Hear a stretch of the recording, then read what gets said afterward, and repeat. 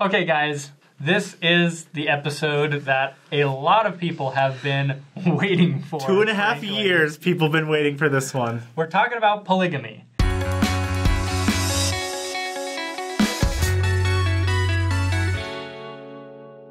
So, to talk about polygamy, we have brought in our expert on the history of polygamy within the uh, Church of Jesus Christ of Latter day Saints, Brian Hales.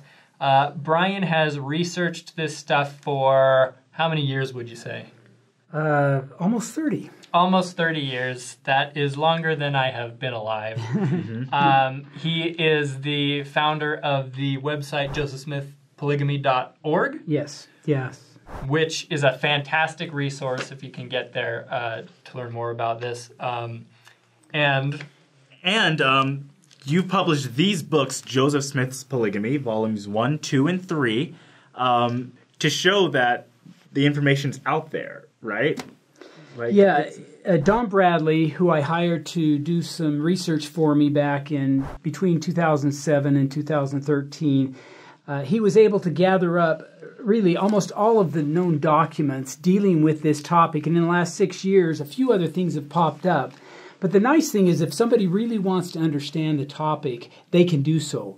Uh, you don't necessarily have to buy my books, go to the to the library, but the documents are also uploaded to another website. Maybe I can mention it's MormonPolygamyDocuments.org, and I put up almost 15 gigabytes of research material. Everything that I compiled for those six years is available there. So, again, this doesn't have to be a big mystery. We can get our heads around it, but we have to put in the time if we want to be able to do that. So, Yeah, and, and get, making sure you have the right context and, and good information because a lot of times people have this question of is, is it all a secret? It's all hidden, but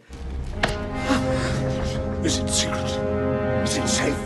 It's all online. You don't have to sign in with a profile, do you? You can just go and click on it, right? right, and you can do the search. And, you know, some of you may have heard my name as an apologist. I've been accused of that, and I don't mind that title.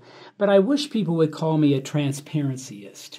I think we need transparency on this topic and whatever the topic that's controversial that people are accusing the church or Joseph about something negative. Transparency allows us all to understand what's going on and prevents spin and propaganda. So, this is my attempt to get us to be transparent on the issue of plural marriage. so there's a lot of information out there about uh, polygamy and plural marriage. Um, that's not to say that all of our questions have answers yet, right? Or, or would you say there are? There are qualified answers to almost everything. Okay. But you you have a very good point. We don't know nearly what we wish we knew, but we can know all that there is to know. And that's what these books and the website and Joseph Smith Papers Project are doing some amazing things and making these these documents available to us, things that weren't available uh, except by restricted access even just 10 or 12 years ago.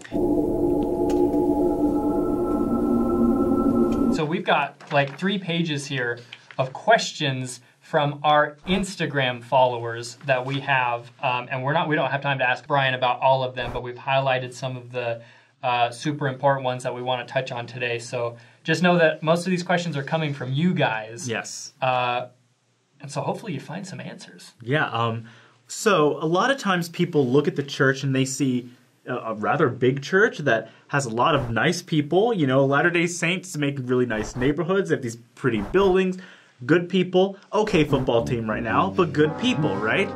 And so they hear about polygamy and they have, you know, they have this idea of did this religion start as some sex cult?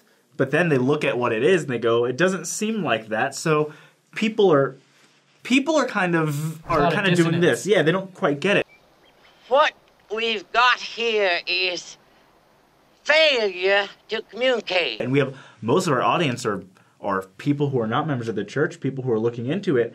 So I guess we want to ask what was the reason? Can you maintain the good nature and, and faith of the church being of Jesus Christ and that there's polygamy in the history? You know, Kwaku, that is a fantastic question. And, and we need to realize as we deal with this, especially if we're talking to uh, people who don't know our background or don't believe as we believe, that if, if we say to somebody, Joseph Smith introduced polygamy among the Latter day Saints, why do you think he did it? 100% of these people are going to say he wanted sex. We just have to accept that that's the default position for almost ever, everyone. But we also need to recognize in our sexuality saturated society that even Latter day Saints, particularly the youth, but others, are going to wonder and worry even that libido was driving Joseph to introduce this. Now, you just asked what was the reason for it. There are two answers to that question. One is if we ask the question, why did Joseph, why did God command Joseph to practice plural marriage? The answer is we don't know. None of our prophets have ever told us why plural marriage was commanded between 1840 and about 1890. Um, but if we ask the question, why was plural marriage permitted during that period, we can go to section 132 of the Doctrine and Covenants, and we actually find four reasons there to help us understand why plural marriage at least had to be permitted as part of the restoration.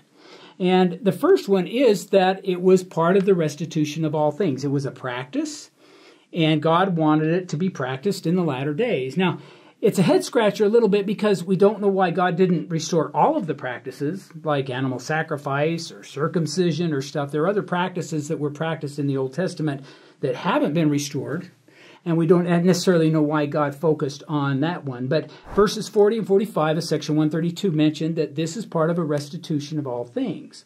Now, the second reason is in verse 51, and it talks about how plural marriage was a special trial for those people at that time and place. And God gives people trials to help them overcome. As they overcome them, then He blesses them with blessings that they otherwise probably wouldn't have been able to receive. So, plural marriage was absolutely a trial for virtually every person, man or woman, who engaged in it in Nauvoo and later in Utah.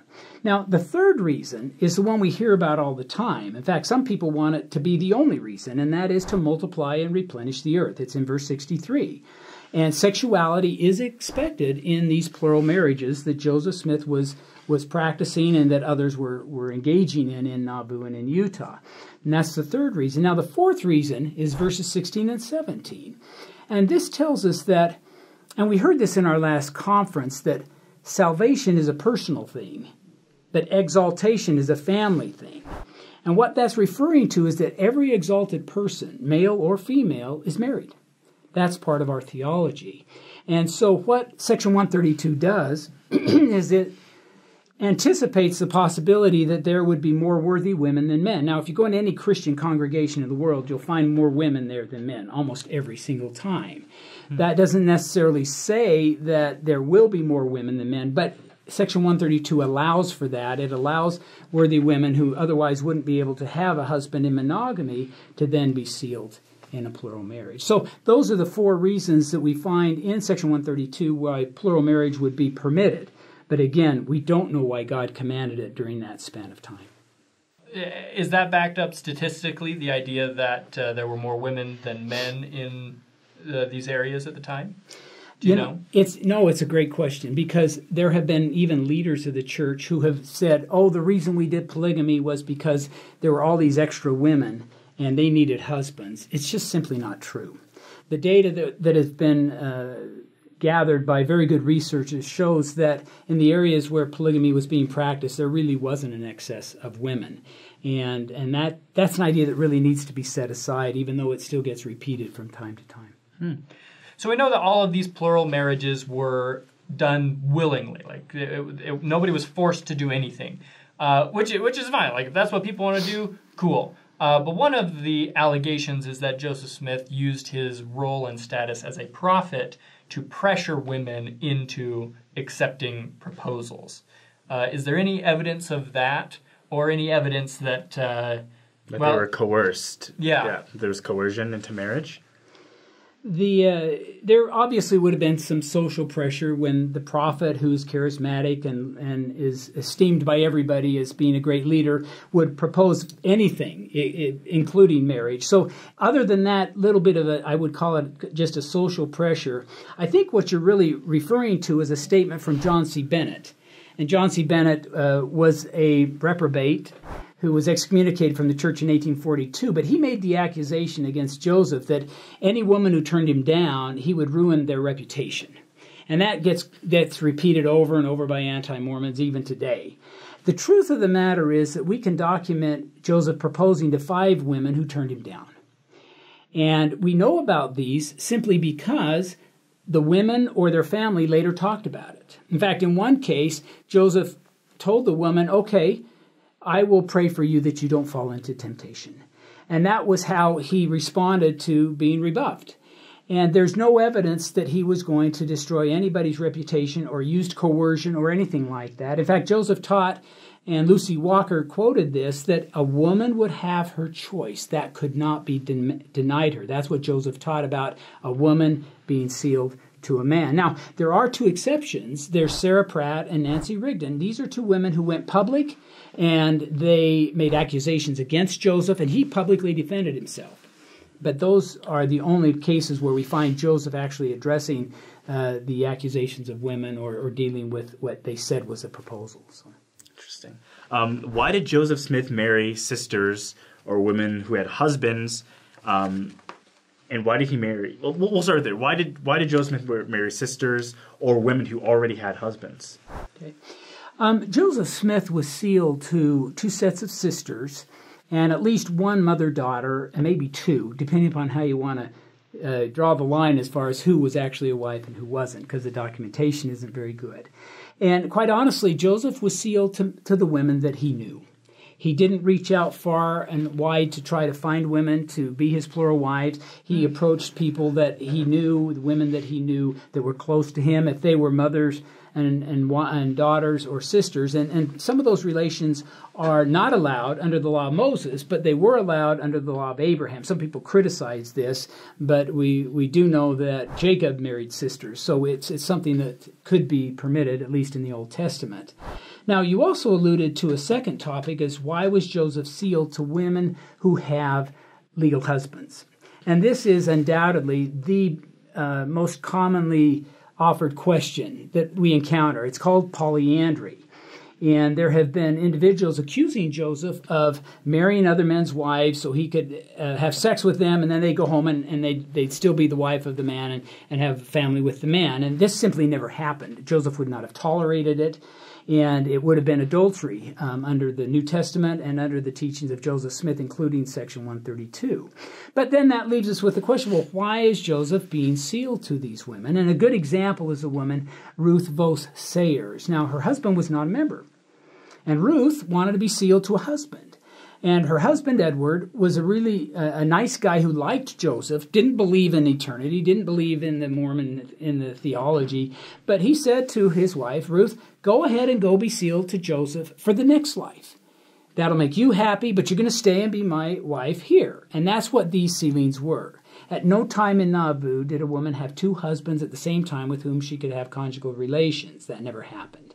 But hmm. in a, at least up to maybe 11, 12, 13 women did have legal husbands and were sealed to Joseph Smith, but this was just for the next life and not for this life. How many women did Joseph Smith marry that were already married? There, Again, there could be as many as 14. Two 14. of them we don't know much about, and one of them was a pretend marriage, so we at least have 11. Were any of those already sealed to Latter day Saint husbands? No, no, you couldn't have a woman sealed to two men at the same time, even in that time period. So, in every case, when he was married to a woman that already had a husband, that husband was not a member of the church. No, no, they were members. Good. And in fact, this this is a head scratcher. Um, and by that I mean that several of the women were legally married to active Latter day Saints. And you could wonder why did Joseph allow this? Why did he allow the woman to be sealed to him instead of saying, look, your husband's a great guy, go be sealed to him? And all we know is Lucy's saying that a woman gets to have her choice, and Joseph was going to go with that. But it's something that, that again is not sinful, but it just makes me wonder a little bit why Joseph maybe didn't just say, Go be sealed to your husband. Of course, these husbands could then be sealed to other plural wives, and most of them were. So they all had a wife in eternity. But uh, at no time did a woman have two legal hu- husbands with whom she could have. So, sounds uh, like a very, sh- very strange, large, complex game of switcheroo. Of, of in a sense, right? I mean, if, if some of these men have wives for eternity they're not their wives, and their wives are being sealed to another person, I mean, it, it works. It just kind of I don't get it, but it it it kind of works, right? I mean, Well, just kind of. If if people are, are watching this and they're going, "That's weird," um, I don't blame them because I think it is weird too. Um, part of it could be we don't know all the details, but what we do know of these fourteen husbands, not a single one of them left any kind of a, a, a charge or complaint against Joseph Smith, and they all either knew at the time or found out later. I think virtually all of them found out that the women were sealed to Joseph, and they seemed to be okay with that and and we just don't have enough detail beyond that to to tell us exactly what they were feeling. yeah, it's like if you take a textbook and you rip out 50 pages and you leave a couple, you might be able to get you, you have some facts, you have some information, but the reality is you don't have all the information. So you can make a judgment call with with that lack of context, or you can just say, all right, we maybe in the future we'll find out some more. And I think this is one of those cases.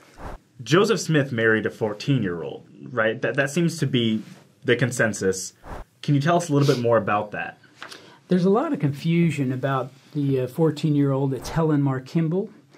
Because people hear 14 year old, they use words like pedophile and stuff. And of course, pedophiles are usually men seeking uh, 11 year olds or younger. So it doesn't apply ever. If anybody ever calls Joseph a pedophile, they don't understand the word or they're just looking to be critical. But Helen Mar Kimball was 14, and the details tell us that her, her father, Heber C. Kimball, he was in the first presidency, he set this marriage up. And Joseph did go along with it, and Helen was sealed to Joseph Smith. And we learned that he- Heber was afraid that Helen was going to get close, start dating, and find a husband on her own. And Heber was worried about that. So before she really got into that dating age, he had her sealed to Joseph. It was more of a betrothal. And I wish my wife Laura was here because she's done a lot of research on this. But what we find is there is no record of Joseph and Helen being together at all after this sealing. And in fact, we have good evidence it was not consummated, and that while the sealing did occur, it really was not a marriage in any real sense of the word, as we would consider some of the other plural marriages. So the idea that Joseph is going after 14 year olds really is not supported. Now, I will say this there was another girl uh, who was either 14 or 15 who was sealed to Joseph, but we don't know anything about her. She happened to be a best friend to Helen Mar Kimball. We wonder if there was was a re- repetition of the dynamic there, but we don't know. Um, there was also a 15 year old who was sealed to Joseph. And what's interesting is that when Emma found out about that sealing, Emma approached her, and they had quite a, a, a conflict. And the next day, she goes off and is married to a non-member. Is this Fanny? Um, actually, this is Flora Ann Woodworth. Okay. Okay, and we can talk about Fanny in a minute. Yep. But Flora Ann, the thing that's interesting about Flora Ann is that she, in a reaction to Emma, uh, she goes off and is married to a non-member. And, and that kind of tells me that if she consummated the marriage to Joseph, she probably wouldn't have done that, but that's speculation on my part. But the interesting thing is when Joseph found out about it, he granted a divorce. Most people don't know that Joseph was allowing some of his plural wives to divorce him. And it's, imp- it's important to realize that even though these are sealings and they can last forever, we, we should recognize that the power to seal is also the power to loosen. And these, I think there will be a lot of adjustments of these plural marriages that will go on in, in the uh, millennium, so that every woman is married in a type of marriage and to a husband that she is very happy with uh, before the resurrection and, the final judgment. Um, and if I'm not mistaken, Helen Mar Kimball was remarried two years later after she was sealed to Joseph when he was dead, correct? She was married to Horace Whitney, who, Yes. uh, but that was a legal marriage. Yes. yes. And and then she again uh, mentioned that she might want to have him in eternity, um, and that certainly could happen. But I think the case of Marinda Hyde is interesting because Marinda was sealed to Joseph Smith, and we have two sealing dates. And then uh, Joseph dies in 1844. 18 months later, the Nauvoo Temple opens up, and Marinda goes into the temple, and she's not sealed to Joseph, she's sealed to Orson Hyde. And then Orson Hyde and Marinda get a divorce about 20 years later, and then she's resealed to Joseph. Again, emphasizing that yes, these are eternal sealings, but God wants us to get everything right, and He honors our free agency as these marriages uh, went forward. it seemed so. The more you, I'm listening, the more I'm reading about polygamy, it seems to be more of there's a new doctrine that is given to the people, and they're trying to figure out how it works, and less about jumping into bed with one another. Right? When you describe these situations, it it sounds less sexual and more. What are we doing with these covenants and with this new theology? Well, and I'll, I'll just add to that because I mean the the uh, from the the point of view of someone who's not a member of the church, like hearing Joseph Smith married a fourteen year old is also is, is terrible. Uh, but he also married like a a lady in her upper fifties. What what was the uh, the age Fanny of, Young. What was the age of his oldest Um, wife? I, I believe it was in her 50s. In her Fanny Young, 50s? Yeah. There was no thought of sexuality there. She just said she wanted to be an angel in the next life and be single. And Joseph said, You're talking really foolishly. Here, Brigham, seal her to me so she'll have a husband in the next life. That's how uh, matter of fact or ceremonial this was rather than. Yeah, so it's like pick, take your pick. Did he like little kids or did he like older women? You know, which Yeah. one was it? Uh, let's talk about Fanny Alger because I hear that name all the time. What have you got for us? Well, Joseph Smith uh, was. He, he related how in 1834, in July, an angel came to him, no sword, just the angel said, Joseph, we want you to restore the practice of plural marriage. And about this same time, and we don't know for sure, but Fanny Alger came into the Smith home as a domestic to help out with the family. And we don't know when it occurred, but Joseph went to Fanny's parents and said, Look, God wants us to do polygamy. Are you okay if I am married to Fanny, your daughter? And they said, Yes, if she's okay with it. And she was. And so Fanny's uncle, Levi Hancock, performs this ceremony. Now, I should point out, this is a priesthood ceremony. The sealing keys haven't been Restored. restored yet. This is probably late 35. We don't know, but that's when I would place it. Uh, it certainly wasn't super early because Fanny hadn't showed up there until 1834 35 period. So this wouldn't have been an eternal sealing, but it would have been a priesthood marriage for, for time only that God recognized. The state of Ohio didn't, but but in God's eyes and in the angel's eyes, this would have been a plural marriage. The uh, what unfolds then is that Emma finds out about it, and of course you can criticize Joseph for doing a plural marriage without telling Emma, but she finds out about it, throws Fanny out of the house, and at that point, we find uh, that she goes and she lives with the Webbs and all. And what's interesting there is that everybody that Fanny associated with describes this as a plural marriage. Her her parents, her uncle, uh, the the family. It was the Webb family, Chauncey Webb. They all heard from Fanny that this was an actual plural marriage with ceremony and everything. But the people that Joseph told about it, this would be Emma, this would be Oliver, and others on the High Council that heard rumors, they all thought it was adultery. Okay, they're going to accuse him of being libido driven when he's saying, no, this is religion driven. Okay, God is commanding this. And they're saying, no, we don't believe you, Joseph. And that's a lot of the same sentiment we get today, I think, as we as we see how people hear about polygamy and make assumptions. Well, that's what happened to Joseph. And so Fanny moves out, goes with her family. Um, she may have been pregnant. Uh, my dear friend Don Bradley, who's a great researcher, thinks she was pregnant, and she quickly remarried to a real good guy. His name was Custer up in Indiana. She lived there, had eight kids overall. If she was pregnant, there's no record of that child, and people have looked very hard. So I'm not sure. Um, she's way down the list on people who I think Joseph may have had re- uh, sexual relations with, but it's a possibility but she never comes back to the church and uh, but she becomes a universalist and and raises a really good family there in indiana. So that's kind of the long version of fanny alger Did she express hatred towards Joseph in her life? um, not that we have record. In fact uh, benjamin johnson related that her brother went to her and, and asked her about it and her response was simply i have nothing to say.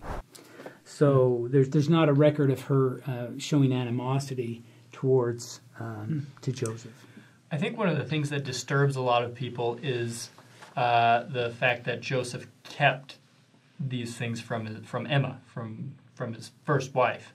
Uh, why would Joseph? I would have done the exact same Yeah, thing. yeah, yeah. I would not have known how to tell my wife that. Well, well, why would is that? Why would he have kept that from Emma? Why would he have done these things in secret, so to speak? A lot of times, you know, people will pull out the Bible and say, you know, God doesn't work in secret like this. Um, but what's kind of going on in Joseph's mind? the episode with Emma is is one of the more I think more difficult things to understand for a couple of reasons. One, we don't have the documentation that we would like. Uh, plus, we should we need to realize Joseph wasn't perfect, and we have, I, I'm old enough to to remember back when Joseph was this pristine prophet who was nearly you know exalted because he was so perfect. That wasn't Joseph. In fact, Joseph tells us several times, we have several records of him saying, I never told you I was perfect. And if you expect me to be perfect, I'm going to expect you to be perfect. And he had a temper and things. So he could have handled this plural marriage in Emma better, I would say. Um, the timeline, briefly, is of course, there's this big blow up in probably 1835. Joseph doesn't want to do it. I believe that's true. But he relates the angel comes again probably 1841. It says, Joseph, God really wants this practice restored. And so he is sealed to a woman, Louisa Beaman, for time and eternity. There's pretty good documentation of sexuality in that marriage, and it was April 5th, 1841. But then Joseph goes on this string of being sealed to legally married women just for the next life. Again, a testament, Joseph isn't looking for sex here because sex would be adultery in any of these sealings, but he might be trying to appease the angel who's saying, Do this, and at the same time not do things that are going to hurt Emma's feelings. Well, then the angel comes again the third time, and this time with a sword. Okay, it wasn't a flaming sword. Okay, mm-hmm. it was just a sword. But he, the angel saying, Joseph, God wants the same kind of practice of polygamy that the ancients did restored today. And then we see after that date, it's February 1842, Joseph is now proposing to young women, unmarried women, who then, when we look at the historical record, we actually can document sexuality in some of these. So we see a pattern here. But Emma didn't know anything about what's going on. And she didn't know about it in 1842. It wasn't until about the middle of 1843 that she became aware of these teachings. And that's the same time Hyrum Smith, Joseph's brother, and William Law, second counselor in the first presidency, became aware. So Joseph was a pretty good secret keeper, not only from Emma, but from his brother and, and his counselor. But about May, Emma understands what's going on and she accepts it. She is involved in two plural marriages and then another two. They're sisters, okay, the Lawrence sisters and the Partridge sisters. This is in May of 1843. But once she's sharing Joseph physically with plural wives, she can't do it.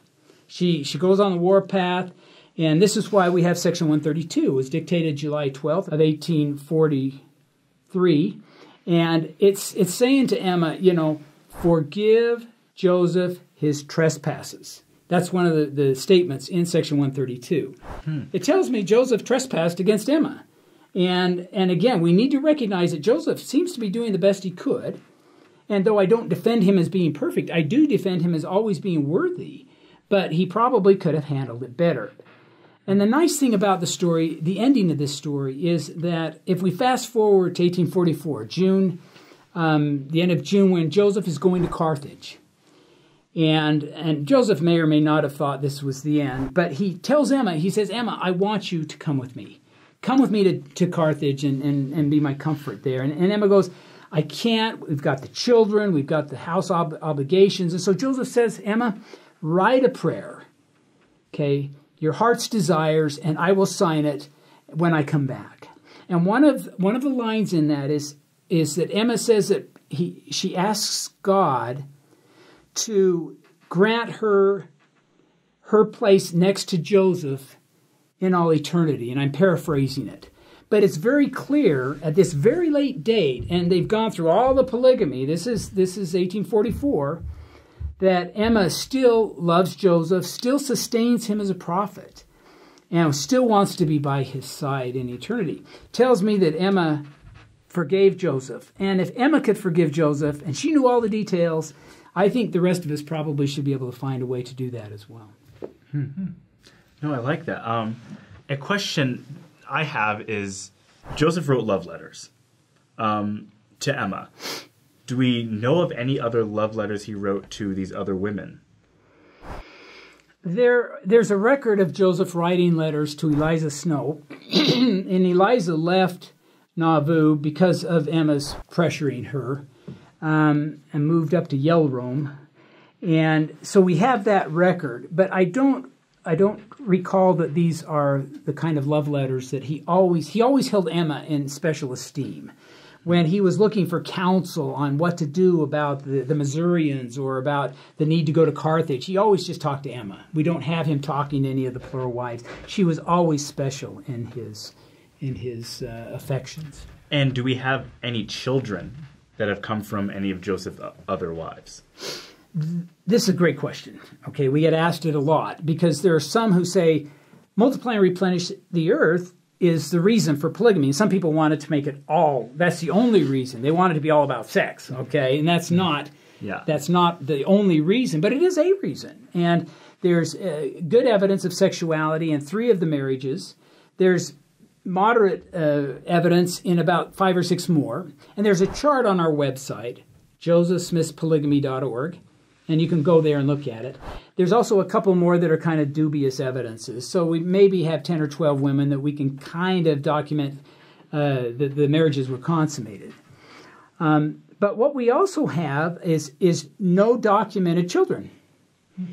And uh, Ugo Perego, a dear friend of mine, he's an Italian geneticist, he has looked at eight of the most likely candidates to be Joseph's children, and it's all negative. But there's also a big chart there, if you go to the website, where I've looked at every candidate that, that anybody suggested as being Joseph's son or daughter. And you, you can look at it there. But there, hmm. there is also rumors of two or three children. In fact, there's a very good, pretty reputable story of Joseph Smith cleaning his hands one night after Emma had just served as a midwife for one of his plural wives delivering a child. But we don't know who it is. But it would not surprise me if DNA turned up one or two children from Joseph. That was one of the reasons. And you have to think of it from the woman's standpoint. Joseph is her only husband. If she can spend time with him and give him a son or a daughter, um, that would be just the greatest thing for them. So they would have wanted to have these kinds of relationships with him, but they didn't happen often, and certainly uh, I don't think often enough to create very many pregnancies. When you think, when a lot of people think about polygamy, they think of you know the Warren Jeffs break off of the church and living in compounds and the whole family's there. Um, but how many of Joseph Smith's wives lived with him? Because it seems like he married a lot of people and they stayed in their own house with, you know, if they had a husband, they would stay with their other husband. Um, and certainly in all of the represent video representations I've seen, he's always just with Emma. But do we know if he lived with, you know, 15 other women as well? Another really great question. The, the answer is that Joseph Smith cared for his wives. If you look at them, he took care of them, not in a traditional sense, but every one of them had a place to stay, a roof over their head, food in their mouths. It was there's no record of Joseph having a relationship outside of a marriage covenant, a ceremony with witnesses and an officiator. That is the only way hmm. that Joseph saw these relationships as being legitimate. But we do know that after May of 1843, see, Emma participated in these four marriages. These four women lived in the mansion. And uh, there were others, Melissa Lott and, and one or two others, that did live in the mansion. And what we really don't know is how Emma regulated their access to Joseph as a wife. Was she doing like maybe modern polygamists have done, where people get different nights? Or was she just putting her foot down and saying, Sorry, Joseph, I'm your wife. They're not part of the picture now. Um, there, there is one quote from Lucy Walker where she describes Emma actually holding the door and keeping uninterested parties from bothering Joseph when he's with a plural wife. But independent of that one quote, we really just don't know very much of what happened between about September of 1843 and his death in June of 1844. We do know Emma became pregnant in January, February with David, who was born after the martyrdom. Uh, and we, we also have a quote from somebody who lived right across the street from the Smiths. And this woman didn't know that Joseph was a polygamist. So the idea that there's this undercurrent of polygamy in Nauvoo that everybody knows about, wink, wink, that's just not the way it was. In fact, by my research, there were only 115 polygamists in Nauvoo at the time of the martyrdom. When Joseph died, 115. And of course, 35 of those were Joseph and, by my count, were Joseph and, and and uh, his wives. So we really have less than 100 other polygamists that are there. And this is in a town of 10,000 people, give or take. So again, polygamy was there, but it was only there for a few hundred people, maybe two or three hundred at the most.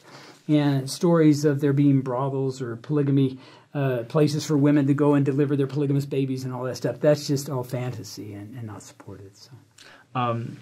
it's brought up a lot the idea of polygamy in the next life. Will will will people remarry and be polygamists in heaven? Do you do you think so? Another excellent question. In fact, it's it's more of a question now than I think it was even 10 or 15 years ago when I started my research. People today hear about um, polygamy in the next life, and, and let's face it, uh, if my wife dies, Laura dies, I'm sealed to her, I could remarry and be sealed to a second wife. That would make my first wife a polygamist in heaven, even if she didn't want to be. And that doesn't seem fair, and people are bothered by that. And let me make a couple of comments. Um, there are books and authors out there telling us that women should fear this. And they're fearmongers because we have no idea what eternal marriage is. We have no idea what eternal plural marriage might be. And God has promised us happiness, eternal joy, if we are exalted. And so these authors are saying, look, ignore what God says about eternal happiness and let's all be victimized or let's all fear this eternal polygamy configuration that, at least from an ordinance standpoint, seems to be programmed into our future. And I'm just saying we can believe God that that we are going to be happy if we attain that that exaltation. And personally, I believe that in the eternal worlds where there's no time and there's eternal resource, a polygamous wife might feel exactly the same as a monogamous wife if there is polygamy there, and we really don't understand these dynamics. And then let me add a second thought. During the millennium, there's going to be loosenings and bindings and sealings and unsealings of lots of marriages. And as I said earlier, I don't think any man or woman is going to be in a relationship, whether it's polygamous or monogamous, for eternity against their, their highest desires. Yeah. And there will be lots of time to get this all figured out, and it should not be something that we should fear in any way. We, also, it's important to note that we believe all those who die before the age of eight are heirs of the celestial kingdom. And they're going to be the same age as all of us, and they've never been married, right? So there's a lot of people who will need spouses as well. So there's a lot of speculation, but the reality is we just don't know. But your your thought shouldn't be you're in some big suburban house and it's a guy in a suit and then a bunch of women around and like that's that's Mormon heaven, right? It looks like what is it that that, that creepy HBO show that they had? Um, oh, Big Love. Big Love, like yeah. we don't think heaven looks like Big Love, right? So it doesn't have to be a scary thing. It it might just be a we'll figure it out when we get there. I think uh, was it. Uh, Elder Eyring just related in the last conference, and he, he's given this story again that he was talking to uh, his father. I think he was quoting anyway, and they're saying you're worried about the wrong things here. Okay, we these are in uh, um, unresolvable, and, we cannot know. And so why worry about it? Why write books about it? And there's there's books out there on this. It just it it's unfortunate. What do you say to those people who you know, attack the church for having polygamy in its history? Well, the easy answer is that Abraham practiced it, Jacob practiced it, Moses was a polygamist, and so we believe in the Bible. We believe in the Old Testament. If if somebody is a, a non-Christian or, or they don't believe in the Bible, it, there probably isn't an answer to it, and they're going to assume libido is driving it, and they're probably not going to be opening to changing. But the easiest answer is that the ancient patriarchs did it. Joseph was a prophet restorer, and he restored it. I get, yeah, I guess my answer's always been if if the Book of Mormon and these Latter Day Scriptures are true, then God used Joseph Smith, and so he probably wasn't a serial, you know, sexual adulterer. The, the questions about polygamy and and this sexual stuff essentially have to be tossed up in the air in hopes that in the next life you'll have a greater context and understanding. I agree. If you know the Book of Mormon is true, then it gives you a different outlook on the whole topic of polygamy. It, it, it, it should make you uncomfortable. Like you shouldn't like first hear about the history of polygamy and be like, oh yeah, sweet, mm-hmm. that's awesome. It, you should have questions. Yeah. And I have a, a ton of questions. Unfortunately, I mean, we have three pages of questions right here. Yeah. We've gotten to like five of them or something. Yeah. Um, and so hopefully we can have you back on the show and just do, you know, Sure. a thousand of these episodes and, and just answer all these questions. um, but the, the last question um, that we can, we want to address to kind of wrap this up is like for you personally, um, you know more than probably anyone uh, about the church's history of polygamy. You know the ins and outs of it. You know everything there is to know. Uh, I mean, how have you reconciled it? How have you been able to maintain your own faith? And do you have a testimony of Joseph Smith being a prophet? Um, great question. The the answer is kind of long, so No, it's uh, all right. And uh, when my wife and I go out and we talk about plural marriage, because there's lots of questions, we do firesides and conferences and things. Um, we never defend polygamy. Polygamy is unequal. Men can do it, women can't. That makes it unfair. Polygamy is it's sexist, and I don't mean to be critical. I'm just talking about the practice. So we don't defend polygamy in any setting. You don't have to like it. Okay, we, we can only rejoice that we don't have to practice it now. And when Elder Cook, when he was speaking with Kate Holbrook and Matt Grow in front of the Nauvoo Temple, hopefully you've watched that. When Elder Cook said that the brethren think that polygamy has served its purpose, suggesting it's not coming back, you know, it was a time for you know a shout of, of yes, I, I like that idea because it's not something I would want to practice. But the process that I spent, and it was six years of gathering information, putting it together into 1,500 words, uh, put me in contact with Joseph Smith's work, his words, his actions, and everything. And I, I didn't really think too much about him. I mean, I never thought of him as being uh, evil or, or anything or good, even. I was just kind of like, here's Joseph. And then one day, once we were we were done and it was being typeset, I went into Deseret Book, and I walked in and I saw a picture of Joseph. It was kind of up hanging above the door there, and I, I felt this feeling of appreciation. I I maybe could say love, but it was mostly just appreciation because I'd I'd studied how hard it was to do what he was asked to do, and God does that. He puts us in situations. It's like okay, how do I do this? You know, I, Emma's on one side and Angel's on the other. You know, how, how is he supposed to do this? So I had this overwhelming feeling of appreciation for him. So we don't defend polygamy, but I always defend Joseph as worthy. Not perfect, but as a worthy prophet who was tasked with one of the most difficult things, and that would be establishing this practice that was so contrary to traditional values at that time. And, and in fact, I think most of us recognize that had he not done that, he probably would have lived a lot longer. Plural marriage was a huge contributor to his death there in, on June 27th of 1844. Um, oh, You also wrote this book. Uh, it's a paperback, and it's a lot shorter than the three page or the the three volume series you have there. Um, and this is, uh, you mentioned that this is just a great overview, uh, kind of scratching the surface of polygamy, right? Well, actually, it's co authored with my wife, Laura. And uh, so she has taken uh, all of this stuff and given uh, together, but mostly with her her great ability to discern what is really necessary. I, I'll be honest with you, it won't make you feel good. Polygamy doesn't make anybody feel good, really. And and I should say though, if if you want to understand polygamy and try to feel good, the only way to really do it is to see it through the eyes of the participant. Try to understand the, the accounts that we have of, of Nauvoo polygamists and what they were feeling. You'll discover God was there. There were dreams, visions, angelic visitations of God telling the people, "Yeah, we really want this. We're serious about this." There, um, but if you if you just read the book, it won't necessarily make you feel good about polygamy, but you will understand what happened and how these people were tasked with something that was very difficult. So if you can't wait till our next episode with Brian, check out some of his work. Uh, and your stuff online is fantastic as well. I've been there several times checking it out. Thank you for talking about a complex subject with us.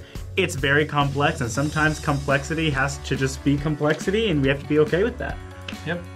If you have questions, we have our big list right here, but if you have further questions for Brian, uh, let us know in the comments section.